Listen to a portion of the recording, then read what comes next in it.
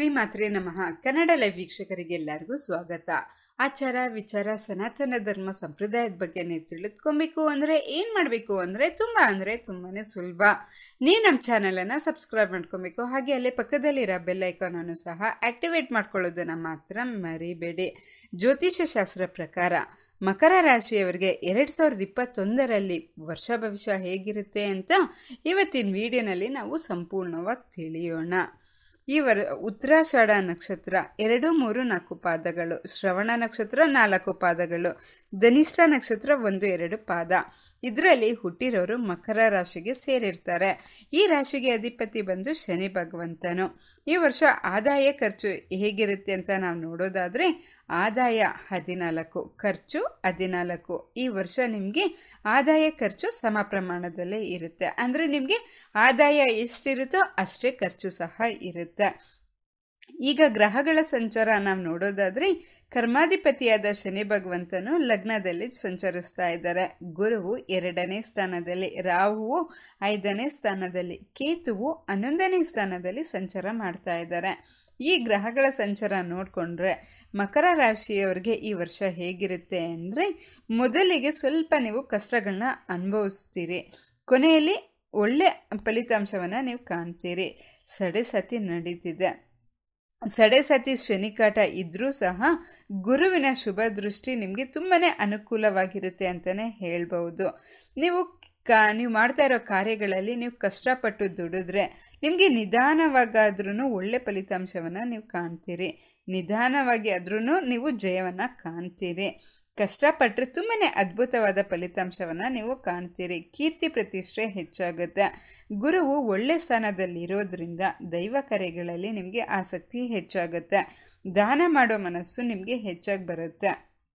ಸುಖ ಜೀವನದಿಂದ ಈ ಸಮಯವನ್ನು ನೀವು ಕಳಿತೀರಿ.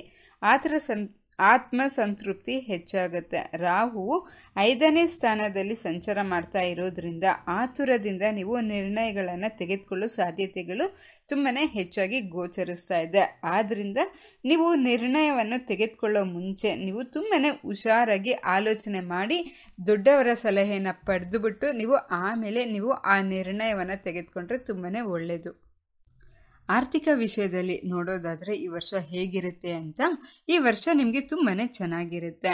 ನೀವು ಹಿಂದೆ ಅನುಭವಿಸಿದ ಕಷ್ಟಗಳೆಲ್ಲ ಈ ವರ್ಷ ದೂರ ಆಗುತ್ತೆ. ನಿಮಗೆ ಸಮಯಕ್ಕೆ ತಕ್ಕಂತೆ ನಿಮಗೆ ದುಡ್ಡು ಬರ್ತಾ ಹೋಗುತ್ತೆ. ದುಡ್ಡಿನ ಅಭಾವ ಇರೋದಿಲ್ಲ. ಯಾವುದೇ ಸಮಸ್ಯೆಗಳು ಈ ವರ್ಷ ನಿಮಗೆ ಎದುರಾಗೋದಿಲ್ಲ. ಸಮಸ್ಯೆಗಳು ಎದುರಾದ್ರೂ ಅದು ತುಂಬ ದಿನಗಳ ಕಾಲ ಇರೋದಿಲ್ಲ. ನೀವು ತುಂಬಾ ಸುಲಭವಾಗಿ ಅದನ್ನು ಎದುರಿಸ್ತೀರಿ. ಸುಲಭವಾಗಿ ಜೀವನ ಸಾಗುತ್ತೆ. ಆರೋಗ್ಯ ವಿಚಾರ ಹೇಗಿರುತ್ತೆ ಅಂತ ನಾವು ನೋಡೋದಾದರೆ ಮಕರ ರಾಶಿಯವರಿಗೆ ಈ ವರ್ಷ ತುಂಬಾ ಚೆನ್ನಾಗಿರುತ್ತೆ. ಆದರೂ ಸಹ ನೀವು ಜೀವನ, ಆರೋಗ್ಯ ಜೀವನ ಶೈಲಿಯಲ್ಲಿ ಬದಲಾವಣೆಯನ್ನು ಮಾಡಿಕೊಂಡು ಸರಿಯಾದ ಆಹಾರ ಪದ್ಧತಿಯನ್ನು ನೀವು ಅನುಸರಿಸಿದ್ರೆ ಆರೋಗ್ಯ ಇನ್ನೂ ತುಂಬ ಚೆನ್ನಾಗಿರುತ್ತೆ. ಕೆಲಸದವರಿಗೆ ಈ ವರ್ಷ ಹೇಗಿರುತ್ತೆ ಅಂತ ನಾವು ನೋಡೋದಾದರೆ, ಈ ವರ್ಷ ನಿಮಗೆ ತುಂಬಾ ಅನುಕೂಲವಾಗಿರುತ್ತೆ. ನಿಮಗೆ ಅನುಕೂಲವಾಗಿರುವಂತೆ ನೀವು, ನಿಮಗೆ ಅನುಕೂಲವಾಗುವಂತೆ ನೀವು ಬದಲಾಯಿಸ್ಕೊತೀರಿ. ನಿಮ್ಮ ಅಧಿಕಾರಿಗಳ ಸಹಕಾರ ತುಂಬ ಚೆನ್ನಾಗಿ ನಿಮಗೆ ಸಿಗುತ್ತೆ, ಪ್ರಮೋಷನ್ ಸಿಗುತ್ತೆ. ಅಧಿಕಾರಿಗಳ ಪ್ರೋತ್ಸಾಹ ನಿಮಗೆ ಪೂರ್ತಿಯಾಗಿ ಸಿಗುತ್ತೆ. ನೀವು ಅಂದ್ಕೊಂಡ ಜಾಗಕ್ಕೇ ನೀವು ಟ್ರಾನ್ಸ್ಫರ್ ಆಗೋ ಸಾಧ್ಯತೆಗಳು ಸಹ ಹೆಚ್ಚಾಗಿ ಕಾಣಿಸ್ತಾ ಇದೆ.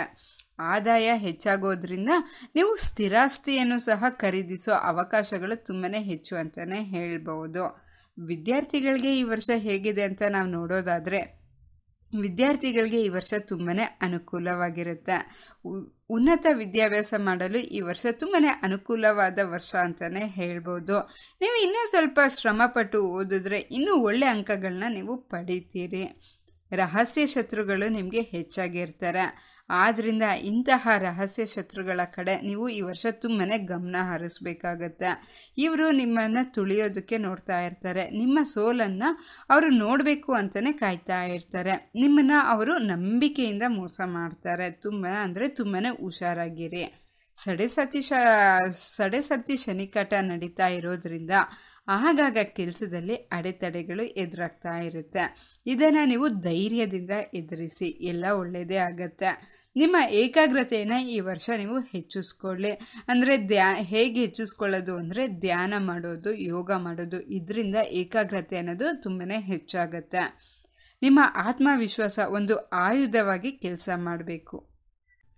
ಈ ವರ್ಷ ನೀವು ಮಾಡಬೇಕಾದ ಪರಿಹಾರ ಏನು ಅಂದರೆ ನಿಮ್ಮ ಇಷ್ಟ ದೇವರನ್ನು ಪ್ರತಿನಿತ್ಯ ಪ್ರಾರಾಧಿಸಿ. ಹಾಗೆಯೇ ನೀವು ಮಾಸ ಶಿವರಾತ್ರಿ ದಿನ ನೀವು ಶಿವನ ದೇವಸ್ಥಾನಕ್ಕೆ ಭೇಟಿ ನೀಡಿ, ಅಲ್ಲಿ ಶಿವನಿಗೆ ನೀವು ರುದ್ರಾಭಿಷೇಕ ಮಾಡಿಸಿ ತುಂಬಾ ಒಳ್ಳೆ ಫಲಿತಾಂಶವನ್ನು ಕಾಣ್ತೀರಿ. ಹಾಗೆಯೇ ಪ್ರಾಣಿ ಪಕ್ಷಿಗಳಿಗೆ ಪ್ರತಿನಿತ್ಯ ಆಹಾರವನ್ನು ನೀವು ನೀಡಿ.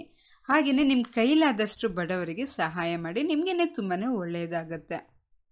ಇವತ್ತು ನಾನು ಹಂಚ್ಕೊಂಡ ಈ ಮಾಹಿತಿ ನಿಮ್ಮೆಲ್ಲರಿಗೂ ತುಂಬಾ ಉಪಯೋಗ ಆಗಿದೆ ಅಂತ ನಾನು ಅಂದ್ಕೊತಾ ಇವತ್ತಿನ ವಿಡಿಯೋವನ್ನು ನಾನು ಮುಗಿಸ್ತಾ ಇದ್ದೀನಿ. ಧರ್ಮೋ ರಕ್ಷತಿ ರಕ್ಷಿತ.